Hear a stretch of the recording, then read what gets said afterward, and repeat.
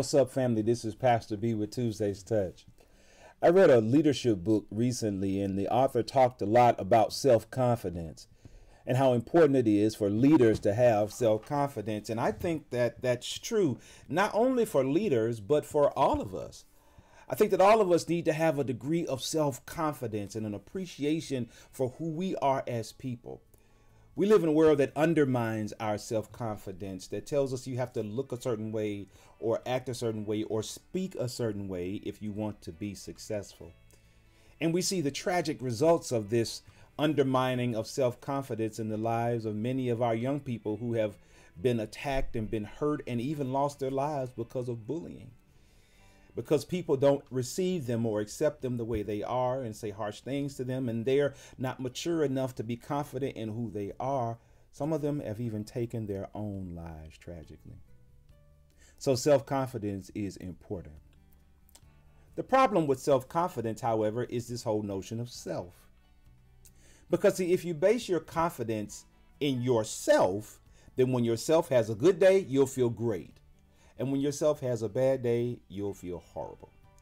When yourself eh, you're able to climb a mountain or solve a problem in your community or on your job and in your family, you'll feel great. But when yourself, when you as a person, when you fail and you're beat down by life, then you have a vulnerability to feel like you are not valued and not worth much. Because who you are is based on the performance of you on yourself. Jesus has another option. He says in John chapter 15, verse 5, I am the vine and you are the branches. If you remain in me and I in you, you will bear much fruit. Apart from me, you can do nothing. Jesus says, Don't base your confidence in yourself, base it in me. He says, base your confidence not in your ability to perform, but base it in the awareness that I am, that God is responsible for performing and bearing fruit in your life. All we need to do is make sure that we work hard to abide in God. The fruit is left up to Him.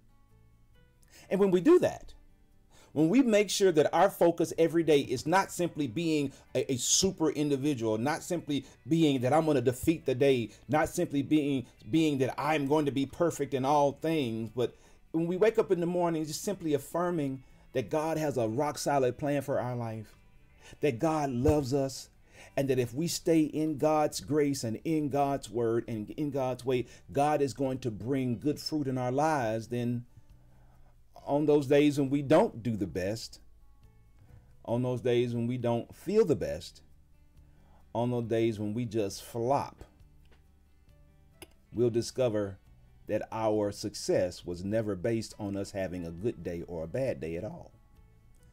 Our success is based on God's ability to bear fruit in our lives. And that's something that God can do. I'm a witness to that.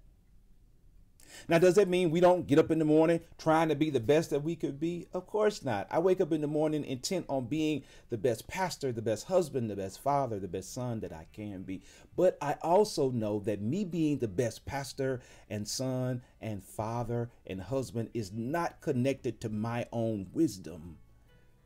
It's not connected to my ability to thrive. It's connected to my ability to abide in Jesus. Because if I abide in him, seeking his face, obeying his word, trusting his grace, he will bear the fruit in my life. This is Pastor B with Tuesday's Touch. God bless you and God keep you. You have been touched.